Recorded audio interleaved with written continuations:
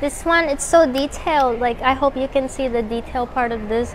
So they have these kind of uh, traditional Japanese designs in this ball pen. So this is a pen, big, uh, big. This one is big, and you can spin here, and the ballpoint pen comes out. And they have the cute, cute little Japanese design over here. And in the back, they have this cute, oh, I hope you can see it. This have this cute little string inside. This is also a traditional Japanese kind of design or kind of like the way of we tie the Japanese, um, like this, like this. They tie it like this. This is also a traditional way of us uh, tying the knots as well.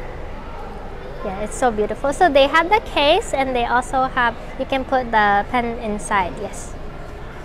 Okay, this one is $25.07. And when I see this, sorry, when I see this pen, I, I uh, remember about the movie Kimi no Nawa or Your Name. And I hope everyone knows if you're an anime fan, yes, it reminds me of that because it has the knot like same as the movie, yes.